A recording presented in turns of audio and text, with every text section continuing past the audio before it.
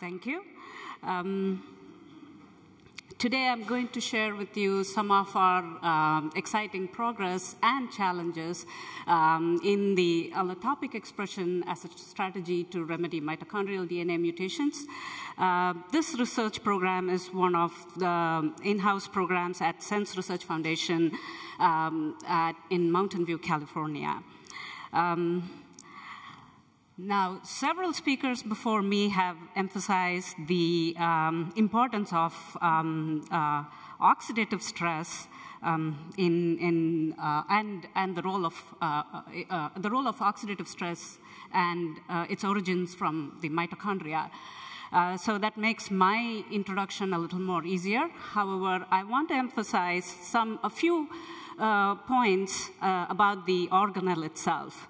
Um, this is the only organelle in the eukaryotic cell uh, that has its own DNA. It comes with uh, uh, a double-stranded circular DNA. In humans, it's about 16.5 kilobase pairs long, and it encodes for um, 13 important protein uh, genes that are the uh, genes that encode 13 important proteins that are all part of the oxidative phosphorylation assembly.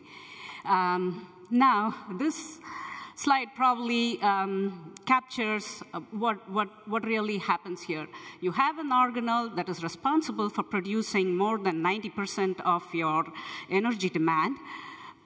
But at the same time, the side products that it produces, that is uh, free radicals or re um, uh, reactive oxygen species, is in close proximity to the DNA um, that, that produces um, uh, vital subunits of the OXPHOS relay. Um, so its, its close proximity to this oxidative stress, uh, replicative errors over, over time, and uh, inefficient repair mechanisms in the organelle itself predispose um, accumulation of mutations over time. Um, so how, how does this reflect? Um, this reflects as several mitochondrial diseases um, and, and uh, about 500,000 people are diagnosed with mtDNA diseases worldwide. However, this uh, statistic is uh, very um, underreported in the sense that it is believed almost 1 in 2,000 humans are born with some kind of mitochondrial DNA defect.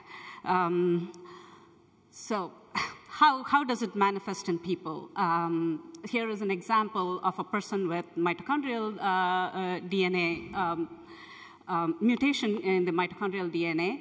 Um, it often uh, manifests as uh, speech impediment, far, um, vision impairment, balance, muscle weakness, cardiac uh, hypertrophy in the sense that any it can it can uh, any organ that has a high um, uh, energy demand is affected.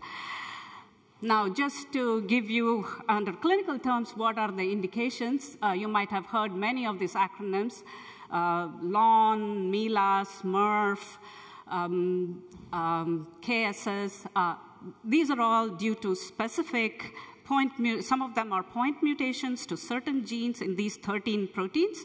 Some of them, such as KSS, Kearns-Sayre syndrome, is larger deletion uh, of, of the mitochondrial DNA itself.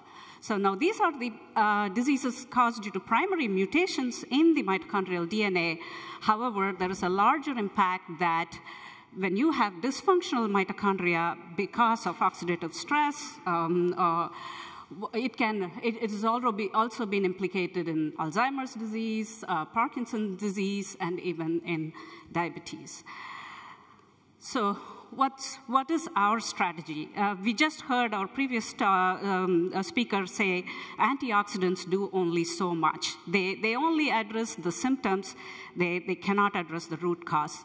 We've taken a gene therapy approach to um, address this situation in the sense that we, we want to develop optimal conditions to express functional mtDNA genes from the nucleus or allotopic expression.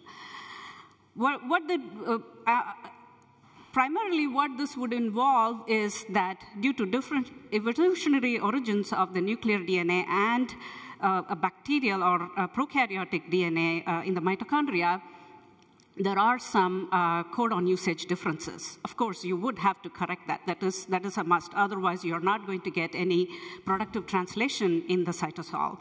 But what we did is that we went one step ahead and we, um, we did codon optimization to facilitate uh, expression. I'll come back to the codon optimization part uh, later. Um, in addition to just this minimal codon correction, they also need uh, some kind of a targeting sequence or a zip code to tell them where to go in the mitochondrion. So although we have uh, done some studies on this for this talk, I will, um, uh, I will restrict uh, in the sense that uh, we appended the ATP5G1 MTS in front of all our uh, allotopic expression constructs. Uh, this is uh, a nuclear encoded complex 5 um, protein, and of course it assembles in, in, in the complex 5.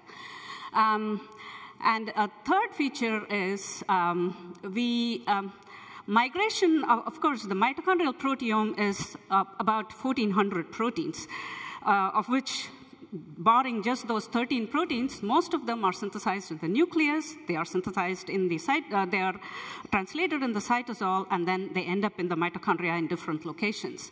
So migration of these 1400 genes likely involved uh, acquisition of various 5' and 3' um, characteristics uh, to, to facilitate expression.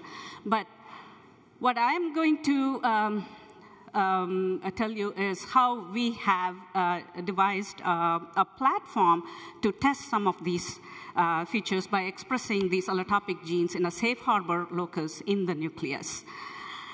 Um, what is codon optimization? Um, this has been commonly used in, in the industry to improve enzyme protein production or even in vaccines. But um, several companies offer this technology. I'm not going to say we are expert in this. Uh, I don't have any bioinformatics background. But some of the features are very logical. Like, you know, it, it prevents um, um, uh, uh, you know, it, it, controls the GC content, it, it prevents uh, DNA methylation, it, it, optimizes mRNA secondary structure, everything. But I want you to focus only on the first uh, uh, point, that is codon usage bias. Um, what this, uh, what this does is that um, uh, it, it, opt it, optimizes for nuclear translation with respect to tRNA abundance, and it also avoids any rare codon usage. Um, this would only seem logical because you're trying to put a, a, a, prokaryotic gene in, in, the uh, in the eukaryotic environment. But I have to tell you that although the allotopic concept has been around for over 20 years, almost all the studies use only the minimally recoded uh, version to, to express. So what did we do? We synthesized two versions of these uh, 13 genes, uh, the minimally recoded version and the codon optimized version and we uh, transfected in uh, HEK293 uh, uh, cells. What you will see here is that the left side is the minimally recoded one, and uh, the right side is the codon optimized one. Practically all 13 codon optimized genes can be expressed under transient conditions in HEK293 cells. There are some of them, such as ND3 um, and COX1, ATP8, are expressed under recoded conditions, but not nearly uh, um, you know, uh, equivalent to the codon optimized version. Um, well, I have to point out here that we were unable to synthesize the recoded version for ND6. This gene had an unusually high content of GC content, and in spite of trying three different companies, we were unable to synthesize the recoded version. However, we were able to synthesize the codon optimized version, and that's, that worked uh, to a certain extent. It's all good. Uh, all 13 proteins are expressed transiently. Uh, of, it should, to put it to any use, it has to express under stable conditions in, in clinical conditions. So we selected all 25 lines um, uh, for four weeks on purimycin. Um, and uh, not all of them are stably expressed, uh, but many of the complex 1 genes, um, uh, ND1, ND2, ND3, ND4L are all stably uh, expressed. Um, and COX2 from complex 4 and ATP8 from uh, complex 5 are also stably, robustly produced. Just to mirror this, we, we, we compared the mRNA levels in all the 25 lines. Um, you can see that the mRNA abundance for the codon-optimized versions are manifold higher than their recoded counterparts. Um, so all this is just in wild type cells. How, how would this technology fare in a, a disease model? So we tested our um, constructs um, in, um, these are patient-derived uh, mitochondrial mutant cell line. This particular cell line has um, a, a, a, a mutation uh, at, at, the uh, 8529 position. It, it, changes from a G to an A. Uh, what this does is that it prematurely uh, truncates the ATP8 protein. Um, if you see uh, in, in control cells, uh, you get the ATP8 protein. In this mutant cell line, it's practically absent. Now, there are two regions in the mitochondrial DNA uh, that are bicistronic. One is the ATP8 and ATP6 region, and the other one is the ND4 and ND4L region. So this mutation, unfortunately, happens to be in the overlap region between the ATP8 and ATP6. What we found is that um, the ATP6 protein levels are also significantly down in this cell line. But by mass spectroscopy, we, we, um, we were able to confirm that there is uh, about 9% residual protein in the cell line. So we used, um, we co-expressed the ATP8 protein and the ATP6 protein in, in this cell line. Now, this is published actually, so I'm not going to go into the details of all the, function, uh, all the functional characterization that we did. Uh, just to summarize, what this does is, yes, it is stably expressed. Um, it, uh, in these mutant cell line, complex 5 is completely um, disintegrated. So when we put back both these proteins, we were able to restore complex 5 assembly. Several of the uh, other complexes were either um, um, uh, lowered or, or um, uh, disassembled. We were able to bring back most of the complexes back. Um, and it also brings back ATPase activity, uh, which we did by two different methods. One is an in-gel activity assay, and the other one is the quantitative spectroscopic uh, PKLDH assay. But I will tell you one important uh, um, ATP, the, the recovery of ATP synthase activity, that is, now these cells are able to respire aerobically. They're able to use oxygen and, and produce ATP. Uh, so this is seahorse data, uh, which we did in the Brand lab.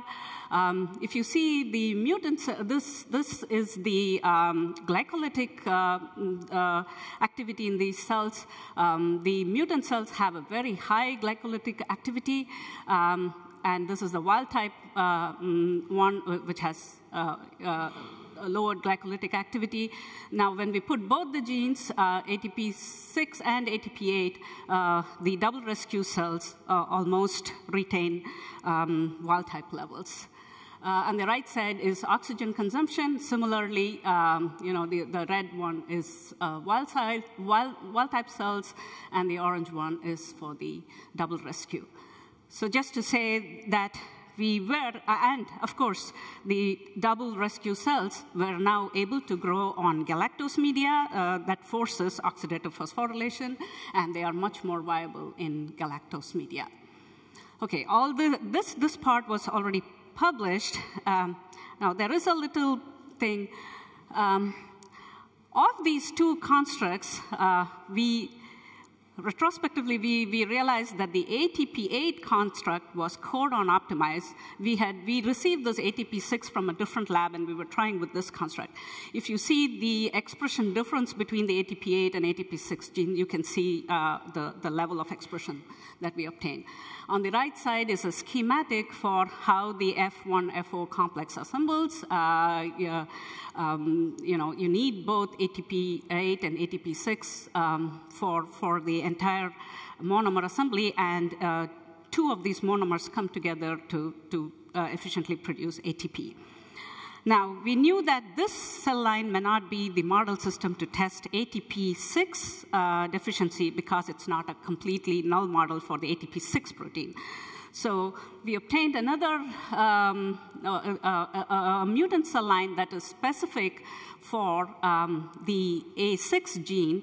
Uh, uh, this particular mutation changes the start codon of ATP6 from a, from a methionine to a threonine.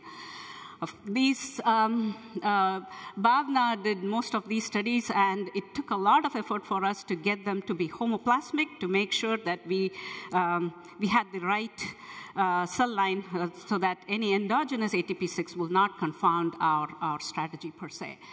But when we put our optimized ATP6, what we observed was that we were able to regain partly some of complex 5, we were able to regain some of uh, uh, complex 3, the disassembled complex 3, but these were not viable on galactose. So it's only to say that, yes, codon optimization is a start to, to, um, uh, or to allotopically express all these genes, but some of the genes will require more engineering. To, the, to, to stress the fact that um, all these 13 proteins are very hydrophobic proteins, uh, and they, are, they span the uh, lipid um, inner membrane multiple times, and so uh, we, we may have to re-engineer uh, ATP6 uh, towards that.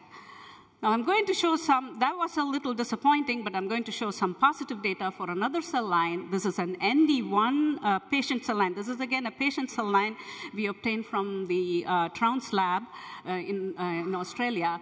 And this is again a truncation mutant in that the protein is completely absent um, and a complex one is completely absent in these cells. Again, we stably transfected both this time, uh, the recoded version for ND1 and the optimized version for uh, ND1.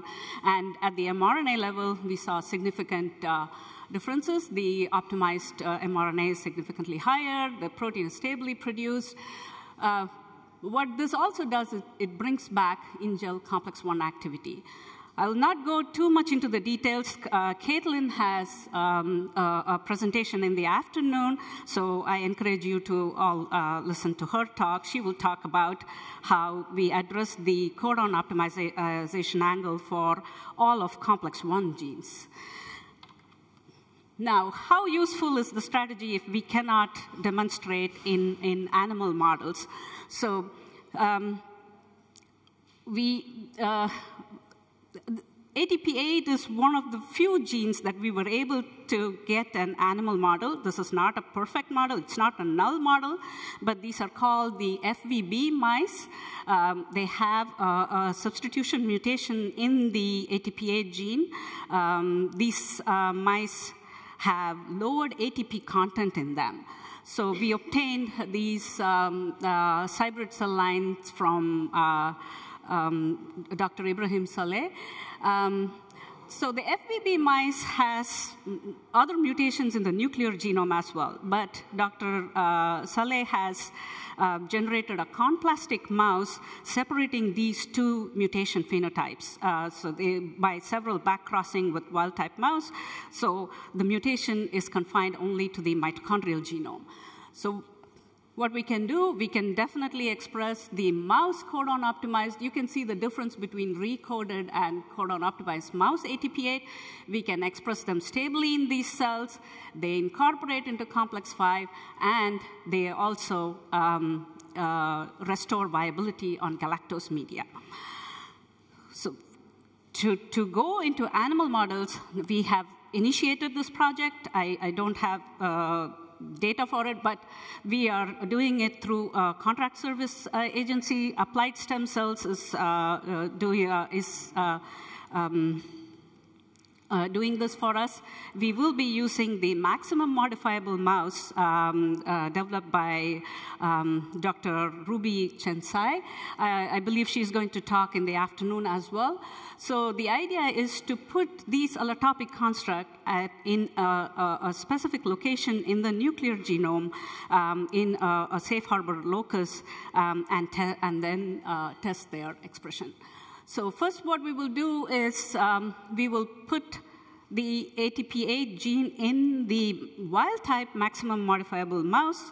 And because of the um, uh, genetics, um, mitochondrial inheritance genetics, we will cross um, male um, um, male mice with, with the ATP8 gene in the nuclear genome with female FVB mouse and recapitulate the um, mutant phenotype in them and then assess uh, thereby. Um, so like I said, these, uh, it is ongoing. We have started it a few months back, and uh, we are very excited to see how this will pan out. I, I, I, mentioned that, yes, ATP6 gene doesn't work as well um, as we expected. So what we are trying to do now is that we are trying to develop a platform um, uh, in the lab where we can test different parameters like promoters or uh, RNA binding uh, at the 3' prime end, um, uh, various other um, modifications to the gene itself. All this um, would be possible only if we can compare them under um, identical conditions. So we, um, uh, this strategy, uh, the DICE strategy was uh, originally um, developed by the Kalos lab at Stanford. Uh, we are essentially using their strategy in that we will place um, recognition sites for um, uh, two uh, integrases, in, in this case, uh, the 5C31 and BXB1 sites in the H11 locus uh, in the nucleus. Uh, we introduce this through TALENS, and then we will uh, switch for the donor constructs in them using our donor constructs and the integrases. Um, Carter is a postbac fellow um, uh, he, uh, and uh, he has been working on this project. Um, I have to say he took over from another sense intern last year. She was trying to uh, develop this, and and I'm happy to say happy to say that uh, I can. This these results came like a week before uh, the conference, so I'm very happy to share this with you all. Uh, so of course, this is just a reporter gene. So all of them, the, the, when we put the landing pad that has a GFP in it. So we begin with uh, completely green cells, and we put either a reporter uh, construct or we replace the reporter construct with the OATP8 construct or with reporter plus OATP8. Now, the, the Western blot is just for the second uh, reaction, that is when we replaced uh, the reporter for OATP8, and these are mitochondrial purified fractions, and it says that we, we, we can express uh, at least ATP8 from the safe harbor uh, locus. Uh, this will be a great um, tool for us to test now various allotopic constructs that we can design and test. Um, so um, in summary, what I would like to um, leave you with is that um, our hypothesis that codon optimization is um, a prerequisite for allotopic expression. However, that may not be uh, um, sufficient. We may have to engineer, uh, at least for the uh, more hydrophobic genes, the additional engineering might, might be needed to uh, get functional uh, recovery. Uh, of course, all of this wouldn't be possible without a great team. I want to say that all, Caitlin, Bhavna, and Carter, they all have posters, so please go and visit their posters. Um, and um, I, would, I would like to give a shout out to lifespan.io. Um, so we, um, they, they uh, did some, uh, they, they did a crowd uh, sourcing for us uh, a, couple of years ago for uh, the allotopic expression for the ATP8 and ATP6 genes. Uh, we are launching one more very soon, so I would um, like you to visit the site, share. Yeah. With that, I'll be happy to take any questions.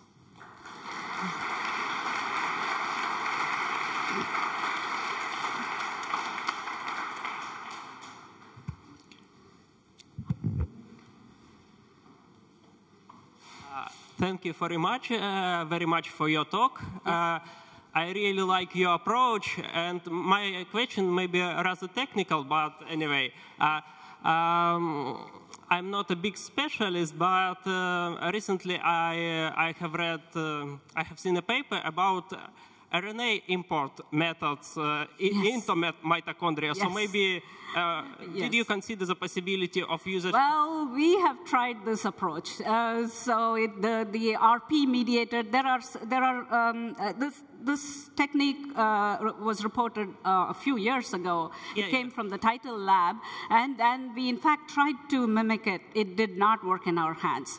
Ah. The, our understanding is that it is, it will, it's it might be possible to import small RNA molecules, but for um, uh, proteins that are 52 kilodaltons or 40 kilodaltons, it's, it's almost impossible. Thank you very much. Yeah. Hello, here? Yes. Uh, hello, thanks, great talk. I have two questions. One is technical. Um, so the transcriptional regulation in mitochondria, it's mm. very different compared to the nuclear one. Yeah. So my question is, which kind of promoter and uh, transcriptional regulator are you using? Yes. And the second one is more uh, high level. Uh, what could be the benefit of this strategy compared to a CRISPR-Cas9 mediated uh, uh, correction of the gene mutation? Okay, yes. So people are trying. I'm, I'm, I, it's, if you step back and see, you have two copies of a nuclear gene, whereas you have uh, maybe five to 10 copies of mitochondrial DNA per mitochondrion, and then you have depending on the energy load, anywhere from thousands of mitochondria. So essentially, you're trying to modify 5,000 copies of mitochondrial DNA mutation per cell. And the CRISPR technology, uh, you know, it's not quite there to get that huge uh, enzyme into mitochondria. Not, I, I, I'm not saying it may not be possible, but at least that strategy is not there. And what was your second question?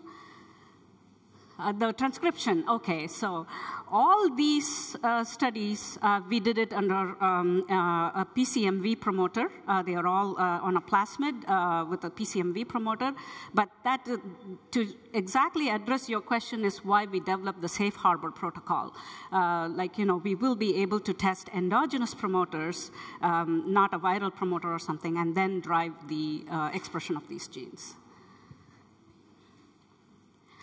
So my question, I know that uh, cells, they can uh, take uh, mito uh, mitochondria that you inject, say, in a bloodstream or deliver in other ways. Yeah. So my question is, uh, what is the advantage of your strategy comparing to just like to production of uh, healthy mitochondria and delivering them to cells? And can they, those two strategies used interchangeably, like you modified some genes and you also deliver uh, healthy mitochondria from outside? Yes, it is. Uh, there, there, are strategies available, like, you know, um, they modify the mitochondria with PEP1 mediated, peptide mediated. It is possible, but how would you get it into, uh, let's say, a whole body? Um, that, that, that would be uh, a problem. That is challenging. So here, um, you know, with advances in nuclear gene therapy, of course, it's very dependent on nuclear gene therapy, but there is an added uh, challenge that you have to engineer these genes with any appreciable expression before we can go to nuclear gene therapy itself. Okay, one last question two last questions, uh, but very short. Uh, one. First of all, uh, when do you expect to go to the clinic? And second, can this approach be used as exercise enhancing?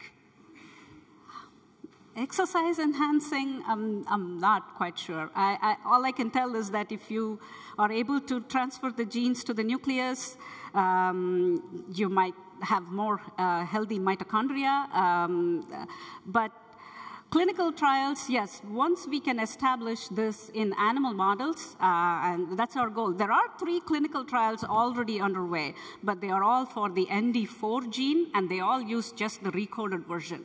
Um, but it's usually, uh, so uh, we believe that we, we, we will have a better technology, and, uh, and that's our goal too. Yeah. Okay, thank you very much. Wonderful.